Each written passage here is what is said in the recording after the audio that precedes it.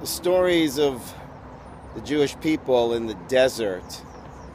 Very bizarre. The Jewish people continually complain and challenge, and here they are in a desert full of miracles, and they're still not happy.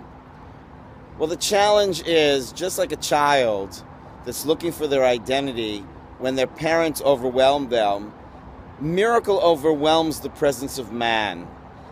And the goal of a Torah life is to find godliness within us.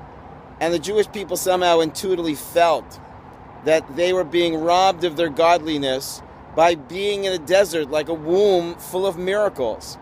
So the interesting thing is is when the Israelites were in the desert they felt eclipsed by the presence of God, by the overwhelming presence of miracles.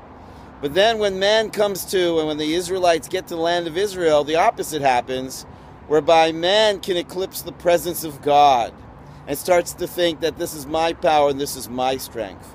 But the goal of a Torah life is that a human being feels empowered to stand in the presence of God and enjoy what's called a Brit, a relationship with God. For there to be a relationship, there's got to be you, there's got to be me, especially when there's a relationship with God. And that's the most amazing idea in Torah that you can enjoy a relationship with God. You don't, you don't melt in the presence of God. You stand, you feel empowered, and you feel loved, and you feel connected.